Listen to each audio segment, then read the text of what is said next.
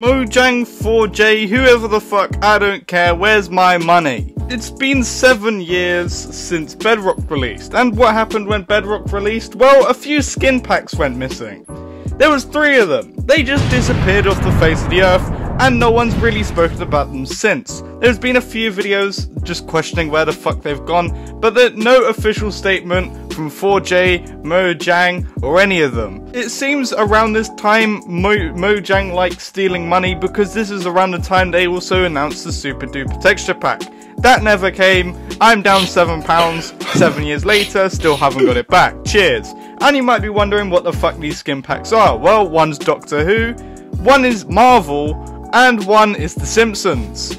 I am the most angry about The Simpsons. How dare you take away my ability to play as Homer Simpson, you silly people. But on a real, could you imagine all the money that they've just practically taken because the only way you can still play as these skin packs is the original console editions. And even then, some of the packs have gone missing. For example, if you've uninstalled the game previously, I don't think you can get them back no more. It really seems when Bedrock was released, it was just theft season for Mojang or Microsoft or whoever it was, because the amount of things that was uh, happening money-wise that was really questionable it was it's quite interesting to think about because just the way they could just yeet the skin packs out of existence and never really speak about it again all they needed to do was say oh yeah sorry the license ran out but they didn't even say that they just ignored its existence and all the people that have spent their pocket money when they were kids on Homer Simpson are devastated